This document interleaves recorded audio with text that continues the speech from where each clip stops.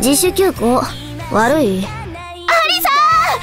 サ毎日毎日飽きずによく来るよな。ちょっと前の私なら自分がライブするなんて夢にも思わなかっただろうな。もう放っておいてくれよ！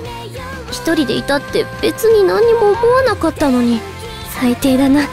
私なんてポピパにいない方がいいのかもな。アリサは格好悪くないし最低なんかじゃない。アリサがポピパをやめポピパは解散だよ。もう絶対にキラキラドキドキできないんだよ。お前らといるとやっぱり楽しくってさ。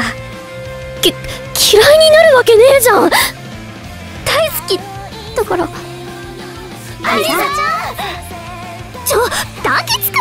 ったく本当に仕方ねえな